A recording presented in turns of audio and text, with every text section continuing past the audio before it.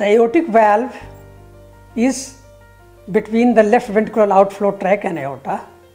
Once this valve opens, it pushes the blood to the rest of the body, including brain and visceral organs.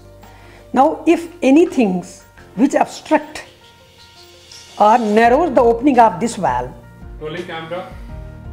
Part 3.